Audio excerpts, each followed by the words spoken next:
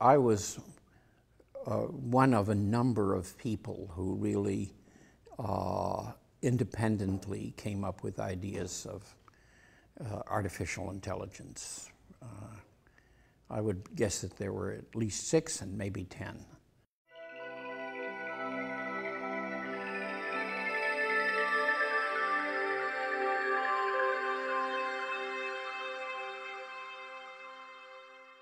My uh, notion, uh, ideas of artificial intelligence came when I uh, attended a conference, uh, a symposium on cerebral mechanisms in behavior.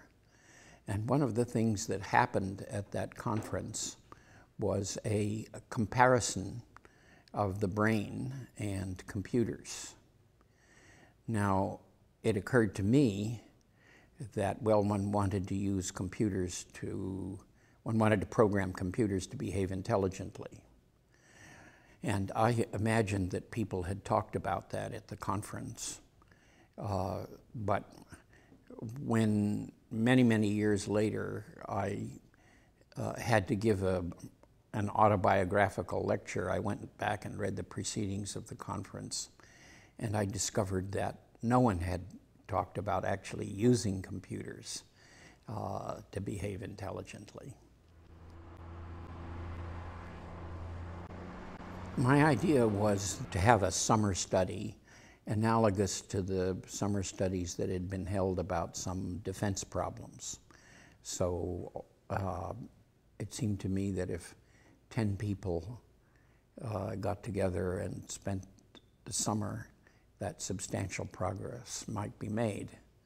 And so I got uh, three other people, uh, Nathaniel Rochester from IBM and Claude Shannon and Marvin Minsky to join me in submitting a proposal to the Rockefeller Foundation to support a study at Dartmouth uh, for the summer and uh, for the purpose that the people who came would know what the subject was was about. It wasn't uh, automata in, in general, but was aimed at uh, artificial intelligence. So I called it artificial intelligence.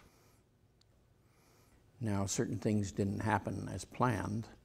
The Rockefeller Foundation gave us only half as much money as we asked for. And most of the people who came could only come for a short time. I thought we would make substantial progress towards uh, human level artificial intelligence that summer. And uh, we didn't. And um, human level artificial intelligence uh, has turned out to be a very difficult scientific problem. And it isn't solved yet. But then it was 100 years from Mendel's work to the deciphering of the genetic code. So uh, uh, people shouldn't be discouraged uh, if it takes a long time.